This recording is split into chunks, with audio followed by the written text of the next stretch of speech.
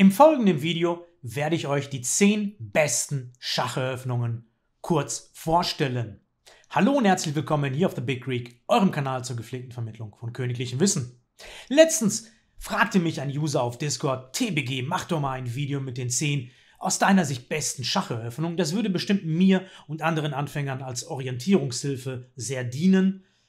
Er hat sich ungefähr so ausgedrückt, ich habe das jetzt ein bisschen geschönt gehört, getan. Hier folgt das Video.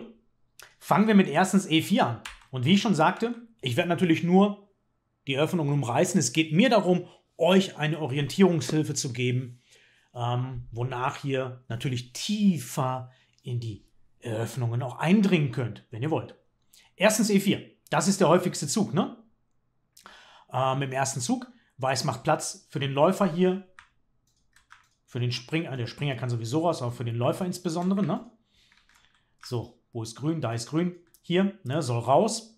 Dame auch, wobei die Dame soll nicht so früh ins Spiel, ne? Goldene Eröffnungsregeln. Vorsicht. Nach ersten C4 habe ich vier Eröffnungen ausgesucht, die in diese Liste gehören. Fangen wir mit E5 an. Der Klassiker, E5. Springer F3, entwickelt den Springer, greift den Bauern an. Springer C6, entwickelt den Springer, deckt den Bauern. Und hier zwei Züge. Läufer B5, der Klassiker.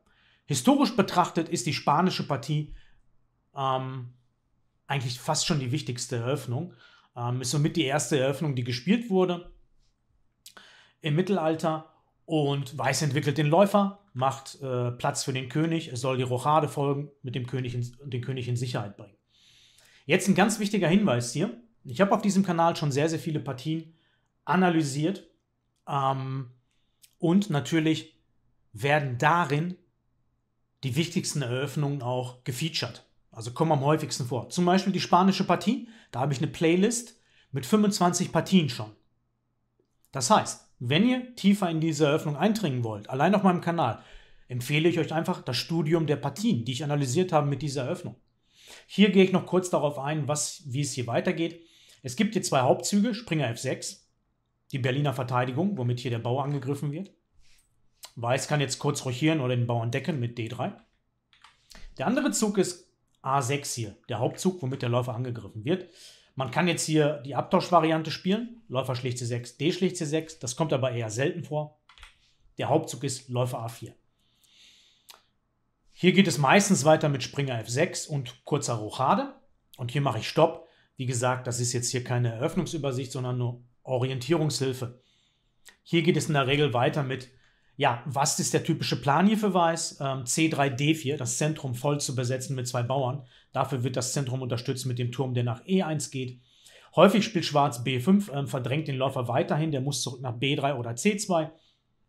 Und Schwarz entwickelt sich mit Läufer E7 kurzer Rochade ne, weiter und D6. Das sind so die Hauptvarianten hier. Wie gesagt, wer tiefer eindringen möchte, Playlist ähm, mit 25 Partien wartet auf euch.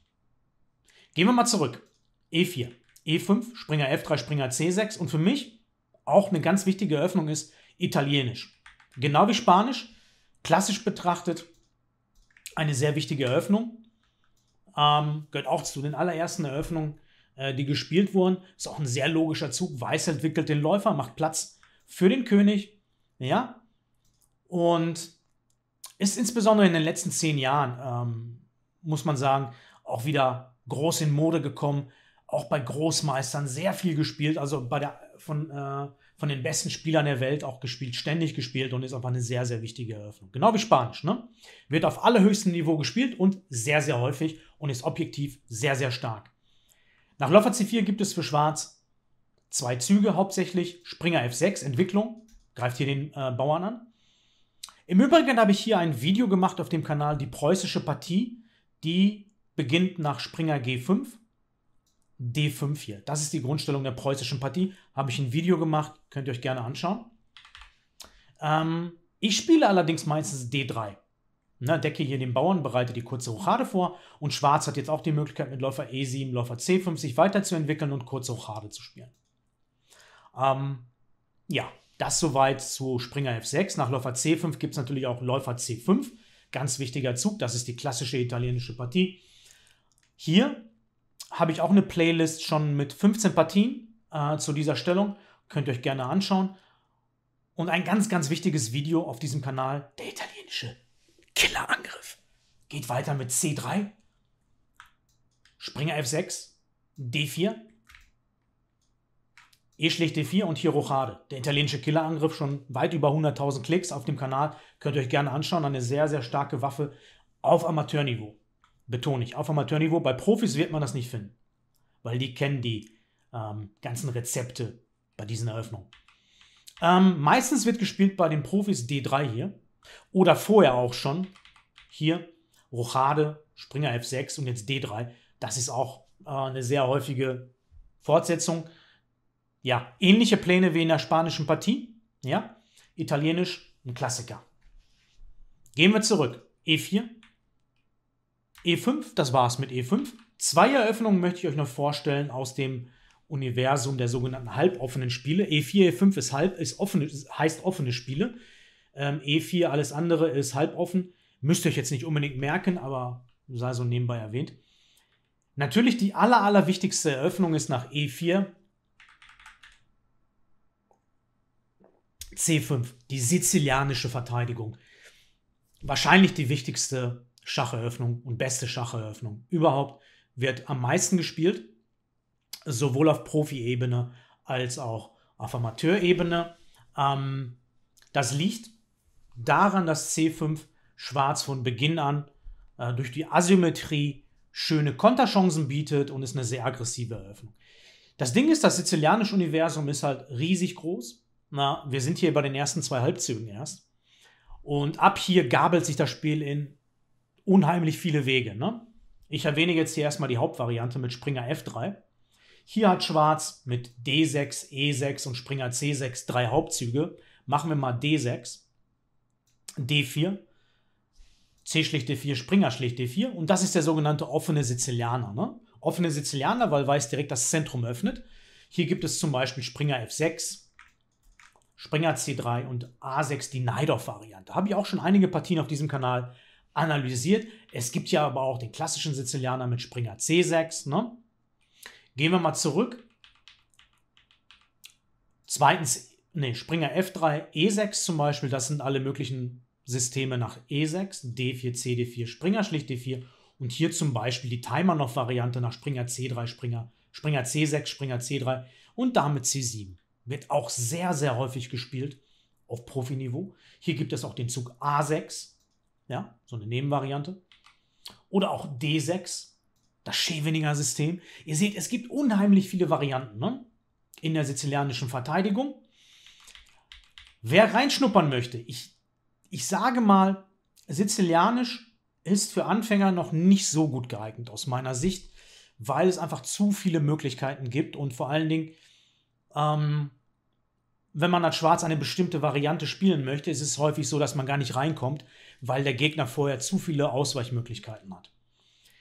Ähm, aber wie gesagt, wer reinschnuppern möchte, E4C5 in dieses sizilianische Universum, ich habe eine Playlist hier auf meinem Kanal schon mit 68 Partien haben sich da angesammelt. Ich habe schon 68 Partien analysiert, in denen mit E4 und C5 die Spieler die Partie begonnen haben. Wahnsinn, oder? Ganz schön viel. Wie findet ihr die Playlist? Ganz einfach, ihr geht auf meinen YouTube-Kanal und da gibt es den Reiter Playlists. Ne? Ich weiß nicht, ob das auf den Smartphones auch genauso ist, allerdings im Browser steht die Übersicht, Videos, Playlists, da sind die Reiter oben, Community-Tab, Kanäle, Kanalinfo. Ne? Und unter Playlists findet ihr meine Playlists. Man kann aber auch direkt in YouTube danach suchen, meine ich, wenn man The Big Greek sizilianische Verteidigung eingibt und dann kommt die Playlist direkt. Nach E4. Eine Eröffnung, die ich euch noch äh, wärmstens ans Herz legen möchte und die für mich zu den zehn besten Eröffnungen gehört, ist die Karo-Kann-Verteidigung. E4, C6. Auch ein bisschen persönliche Vorliebe, weil ich die selbst spiele. Mhm. Karo-Kann-Verteidigung. Die Idee von der Karo-Kann-Verteidigung ist, D5 folgen zu lassen und das, den Bauern E4 zu attackieren. Hier muss man vergleichen mit der französischen Verteidigung ähm, viele im Amateurbereich, nicht im Profibereich. Im, im Profibereich wird Karokan aus meiner Sicht häufiger gespielt als Französisch. Allerdings im Amateurbereich spielen wahrscheinlich mehr Spieler Französisch. Die gleiche Idee, E6, bereitet D5 vor, soll den Bauern E4 attackieren. Meistens spielt Weiß D4, es kommt D5, greift hier den Bauern an. Aber der Nachteil der französischen Verteidigung ist, dass der Läufer, der weißfel weißfelderige Läufer von Schwarz, auf C8 eingesperrt wird, hinter dieser Bauernkette hier. Und der Unterschied bei der Karo-Kant-Verteidigung ist, dass nach D4, D5 der Läufer rauskommen soll vor die Bauernkette. Zum Beispiel in der Vorstoßvariante E5 Läufer F5. Danach ist die Idee mit E6 ähm, die Kette zu schließen und danach sollen die anderen Figuren hier entwickelt werden. Ne? Je nachdem, wie die Partie weitergeht. Wer sich für die Karo-Kant-Verteidigung interessiert, dem empfehle ich mein Video, da habe ich ein Video zu gemacht, sogar auf diesem Kanal, die Karo-Kant-Verteidigung. Außerdem meine Playlist, die enthält 19 Partien zur Karo-Kant-Verteidigung. Schon ziemlich viele. So, das waren meine vier besten Eröffnungen nach erstens E4. Kommen wir zum Zug D4. Der auf Profiniveau ähnlich häufig gespielt wird e, wie E4. Ich denke allerdings, auf Anfänger- und Amateurniveau wird erstens E4 deutlich häufiger gespielt. Ja, was sind die wichtigsten Eröffnungen nach erstens D4? Ganz klar der Klassiker D5. Beide Seiten besetzen mit einem Bauern das Zentrum. C4, das Damen-Gambit. Damen-Gambit ist eine Königseröffnung, wird ähm, historisch betrachtet eine ganz wichtige Eröffnung, haben alle Weltmeister gespielt. Ähm, wird bei den Profis ständig gespielt und ist einfach eine sehr, sehr starke Eröffnung. Weiß bietet hier einen Bauern zum Opfer an. Und die Idee ist, wenn Schwarz nimmt, möchte man mit E4 das Zentrum besetzen. Das ist eine Idee, man muss nicht E4 machen. Aber das ist so eine der Grundideen halt, ne? Eine Übermacht im Zentrum.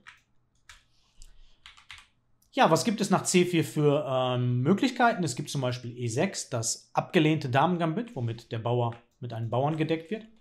Es gibt ja auch das slawische Damengambit, womit der Bauer gedeckt wird.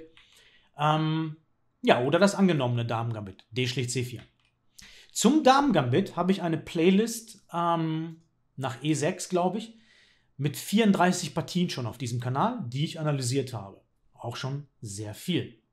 Ich gebe zu, ich muss mal ein Video machen zum Damengambit, wo ich äh, die Eröffnung ein bisschen tiefer vorstelle. Eine ganz, ganz wichtige Eröffnung ist, die katalanische Eröffnung. Und zwar nach Springer F3, Springer F6 und hier G3. Das geht hier äh, ein bisschen rein. Das auch beginnt mit Damen-Gambit, jetzt aber entsteht katalanisch. Und katalanisch ist insbesondere im Profibereich eine unheimlich äh, starke und häufig gespielte Eröffnung und ähm, eine wahnsinnig gute Eröffnung. Im Amateurbereich wird sie, glaube ich, seltener gespielt, aber äh, nichtsdestotrotz gehört sie auf, aus meiner Sicht in diese Liste rein, weil einfach ähm, unheimlich viele gute Partien hier mit äh, Katalanisch existieren. Und meine Playlist mit, allein mit Katalanisch enthält zehn Partien mit dieser Grundstellung. Jetzt kommen wir zum Bereich der indischen Eröffnungen und zwar D4. Jetzt nicht D5, sondern Springer F6. Da möchte ich euch drei Eröffnungen ans Herz legen und zwar C4, Jetzt hat Schwarz zwei Möglichkeiten hier, um sich weiterzuentwickeln. Entweder E6 oder G6. Machen wir E6. Ähm, Springer C3 hier, das ist einer der beiden Hauptzüge. Und jetzt Läufer B4. Schwarz entwickelt sich weiter, hat hier schon zwei Leichtfiguren draußen und wird jetzt kurz rochieren. Eventuell später das Zentrum attackieren mit D5 oder C5. Das hier ist die Nimzovic-indische Verteidigung. Das ist ein absoluter Klassiker und wird von allen Weltmeistern gespielt. Magnus Carlsen, ganz großer Verfechter, hat das jahrelang gespielt. Spielt er immer noch. Ein ganz großer Experte dieser Eröffnung. Das ist wirklich eine ganz, ganz wichtige Eröffnung und aus meiner Sicht auch eine sehr natürliche Eröffnung, weil Schwarz entwickelt schnell seine Leichtfiguren, bringt schnell den König in Sicherheit und kümmert sich danach um den Damenflügel. Wenn man allerdings Nimzovic-Indisch spielen möchte mit Schwarz, muss man natürlich auch etwas gegen Springer F3 in petto haben.